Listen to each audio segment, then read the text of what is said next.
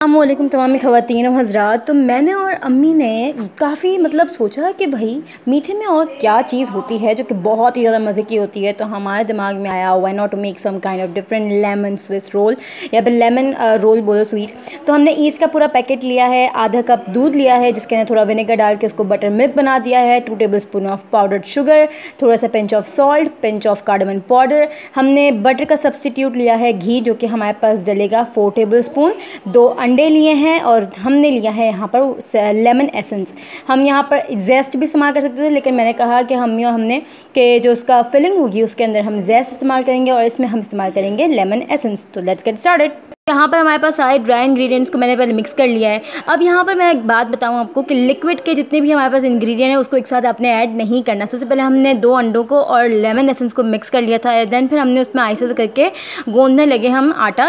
थोड़ा थोड़ा करके मैंने मिक्सर ऐड किया ड्राई तो देखें इतना अच्छा आटा गूंदा, लेकिन, ये देखें कितना अच्छा आटा गूंदा, लेकिन अभी भी हमारे पास बटर मिल्क बचा हुआ था।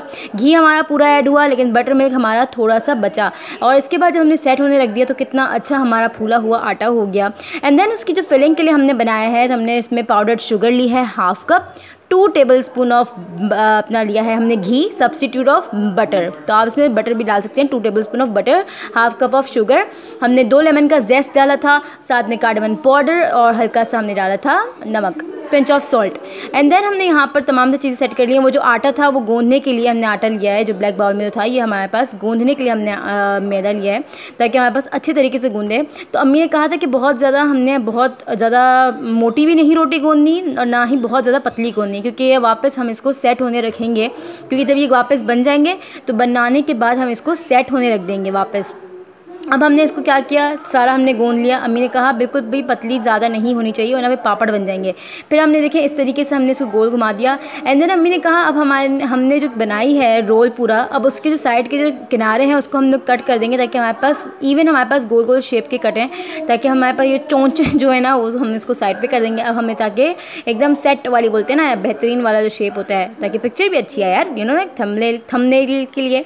तो अब हमने क्या किया, इसको इस तरीके से हमने सेट कर दिया। अब मैं देखें गैप किस तरीके से मैंने दिए हैं। इसके अंदर मैंने इतने पैन के अंदर मैंने ग्रीस कर, मैं ग्रीस कर दिया था और फिर मैंने बटर पेपर लगा दिए ताकि आसानी हो निकालते हुए।